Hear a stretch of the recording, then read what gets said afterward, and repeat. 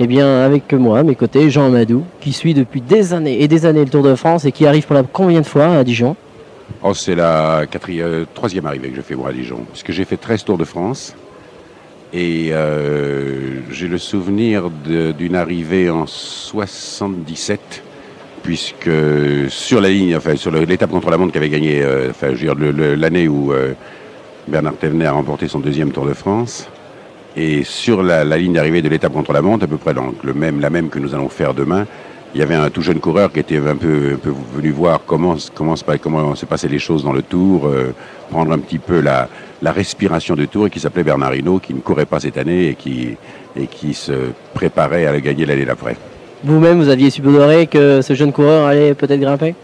C'était, c'était assez difficile, je veux dire, mais enfin, euh, à cette époque-là, Bernard avait déjà un palmarès euh, assez étonnant. Je veux dire, il avait, il avait gagné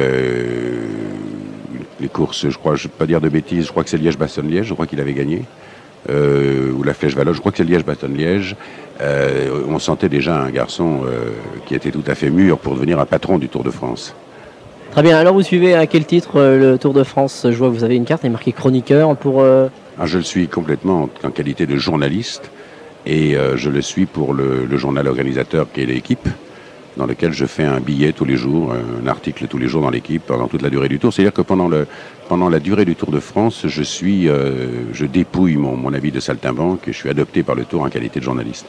Justement, on va reprendre peut-être un peu le métier de saltimbanque avec tout ce qui s'est passé actuellement dans la télé. Vous, votre poste euh, à la rentrée?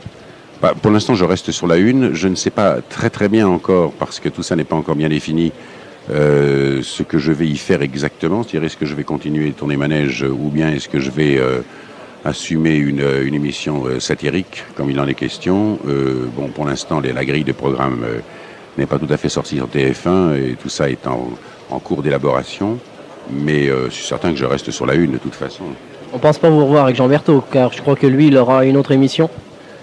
Vous savez, je crois que les choses qui ont, qui ont été faites, euh, c'est pas toujours très très bon de les reprendre très exactement comme ça. Que je refasse quelque chose avec Jean, c'est certain. Qu'on refasse exactement ce qu'on a fait, c'est beaucoup moins sûr dans la mesure où je crois que les, choses évoluent et il faut que les gens évoluent avec les, avec les événements. Et donc, euh, si je fais une émission, il n'est pas impossible que Berthaud y soit. Euh, loin de là, au contraire, puisque Berthaud est un ami et qu'il a du talent. Au demeurant, il est possible aussi qu'il fasse une autre chose, une autre rubrique que celle qu'il assumait à mes côtés à ce moment-là. Pourtant, euh, des gens comme Jacques Martin vont reprendre la lorgnette. Oui, il reprend la lorgnette, mais euh, il ne la reprendra pas avec les gens avec lesquels il la faisait, c'est-à-dire avec euh, Colaro, avec euh, avec les gens qui avaient fait le, qui avaient fait avec des proches. Il va la reprendre avec une autre équipe. Donc, euh, je crois que dans ce domaine, il faut savoir se, se, un petit peu évoluer et puis euh, précipiter un peu les choses et, euh, et, et ne pas refaire obligatoirement ce qu'on a fait. Le succès qu'il y a eu avec Tournée Manège, vous en doutiez un petit peu parce que bon, une émission entre midi et, une heure est souvent un peu moins regardée. Finalement, il y a eu un essor considérable. Non, on ne pouvait pas imaginer une seconde que c'est qu'une émission programmée à cette, à cette heure-là fasse l'audience et le taux d'écoute qu'elle a fait. Qu'elle a fait. Je veux dire, c'était complètement imprévisible et c'est vrai que ça a été surprenant pour ceux qui ont fait l'émission d'abord, euh, pour moi ensuite, euh, dans la mesure où on atteint des taux d'écoute absolument euh, fantastiques. Je veux dire pour l'heure, c'est-à-dire qu'on a frôlé 19% d'écoute à, à une heure moins le quart, ce qui est énorme, ce dont profitait d'ailleurs complètement et amplement le journal de Mourouzi. Bon, au demeurant, euh, on ne peut jamais savoir pourquoi l'émission marche. On ne sait jamais non plus d'ailleurs pourquoi elle ne marche pas. Ça, c'est un, c'est comme le spectacle. Vous savez, c'est un des grands mystères de ce métier. Je crois que si on savait, ce serait trop facile. Et on ne sait pas pourquoi une pièce marche. On ne sait pas pourquoi elle ne marche pas. Une émission de télévision, c'est pareil. Si elle la marche, bon, c'est, c'est formidable, c'est très bien. Elle a, elle a gardé sa, sa, sa pugnacité et son taux d'écoute actuellement. Euh, je ne sais pas d'ailleurs si je vais la continuer. Si j'ai si une émission satirique, je ne sais pas si je pourrais faire les deux. Euh, mais l'essentiel, c'est que pendant deux ans, elle a été une des, une des grandes émissions de la demi-journée de, de, TF1. L'explication n'est pas dans le fait que les gens sont de plus en plus curieux et veulent savoir un petit peu sur, sur la, le compagnon ou la compagne des invités que vous avez. Est-ce que c'est pas un, le côté un petit peu euh, rentré dans la vie privée des gens qui est un petit peu...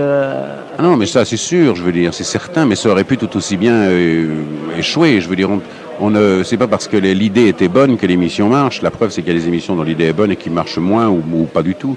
Non, je crois qu'il y a eu une mayonnaise qui a pris, qui a prise, et, euh, que c'est formidable. Mais euh, vous savez que pour qu'une mayonnaise prenne, les, ingrédients n'en sont pas encore connus des, producteurs et des réalisateurs. Là, en l'occurrence, ça a marché, mais la recette n'est encore connue de personne. Et c'est d'ailleurs pourquoi, d'ailleurs, chaque fois, c'est une loterie. C'est ce qui en fait un peu le charme aussi.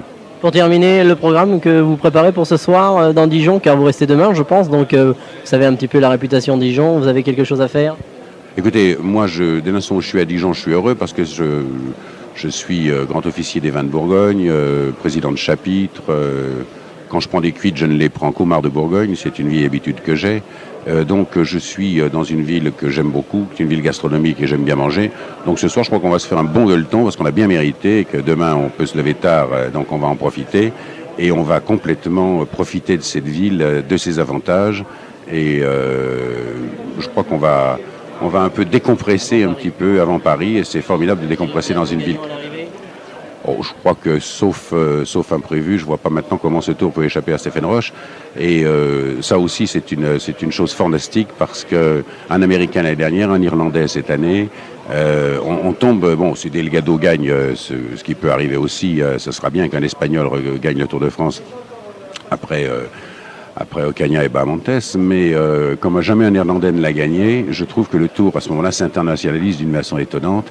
Puis je trouve que ce garçon est tellement drôle, gentil, amusant, sympathique, euh, plein d'humour, qu'il a fait une course tellement fantastique euh, que je crois qu'il mérite largement de, gagner le Tour de France et surtout de faire cet extraordinaire doublé Giro, Giro d'Italia et Tour de France que peu, peu de coureurs jusqu'à maintenant ont réussi à faire.